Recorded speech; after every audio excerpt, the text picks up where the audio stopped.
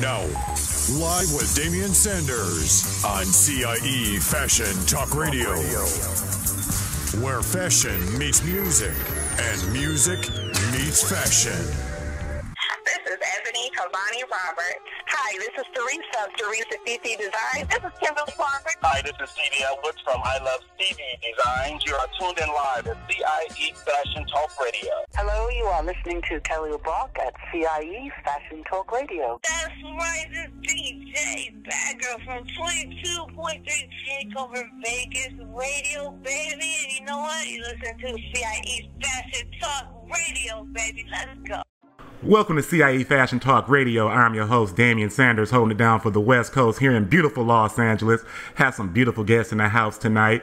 I have the CEO of the studio located in San Juan, Puerto Rico, Gladius. They have a new animated Emmy Award winning animated series entitled Fantomville that's out now. I have Mr. Eddie Martinez in the house. How are you doing, sir? Oh, we are really happy to be here. Hello to all of our friends in Los Angeles and California from sunny San Juan, Puerto Rico, and from Gladius. We're really happy to be here and thank you for the opportunity. Now, thank you for the time to talk to CIE Fashion Talk Radio. Now, the studio Gladius. Now, tell us about the company and how it was founded. Well, uh, we decided to found Gladius four years ago because uh, we had a big need here in Puerto Rico to develop major projects in computer animation. Uh, let's say, for example, animated series, movies, commercials. And for many years, we had a lot of advertising agencies and uh, different channels here in Puerto Rico. And we, we covered pretty well that area. But in digital animation, we needed something big, a big studio to develop great things and very creative things here in Puerto Rico and for the Caribbean to be exported. And that's why was one of the main reasons that I decided to found Gladius four years ago. But besides that, also, we needed to uh, retain a lot of great talents that we have here in the island.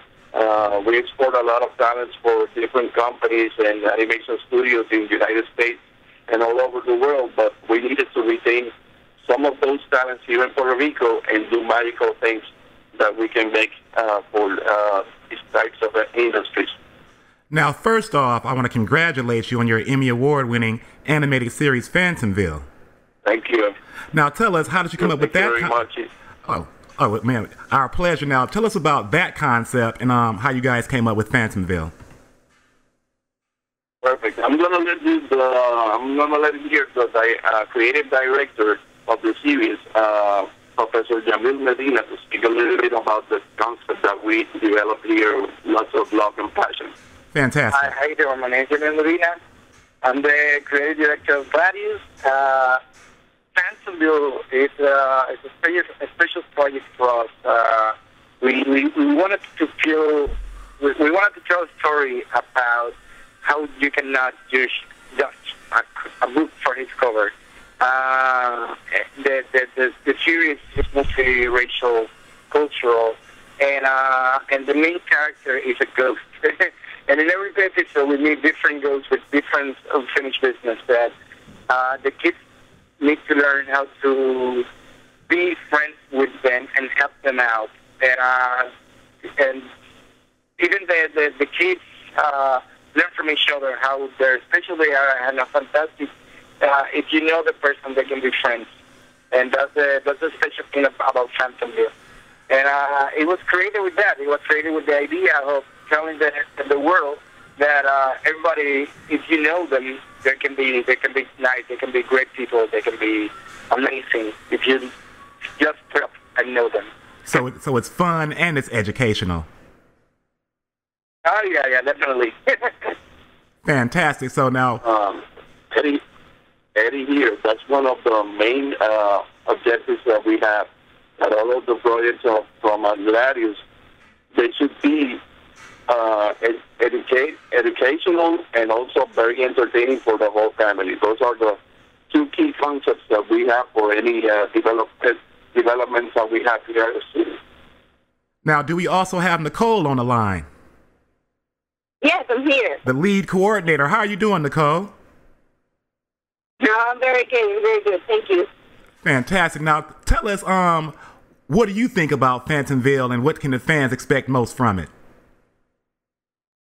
Well, um, what Mo, I, I most love so Fantomville is um, we have we have had the opportunity to, to see the kids' reaction when they see the show.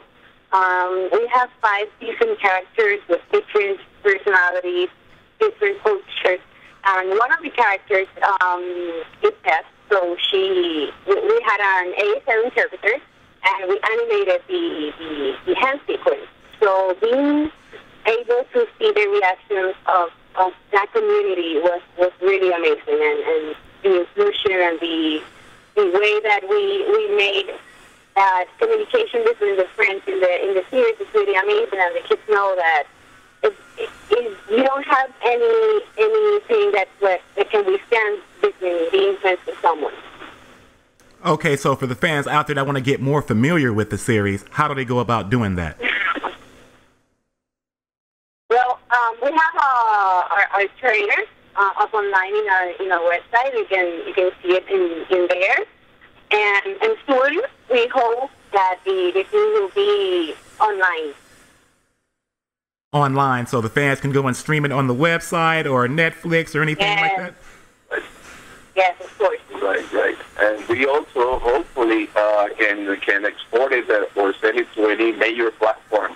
Uh, for example, if there is any uh, Netflix or Hulu hearing this, uh, we're ready. We're ready. Broadcasting live from Hollywood, California. CIE. Fashion Talk Radio. Interviewing the best in fashion from today, yesterday, and tomorrow.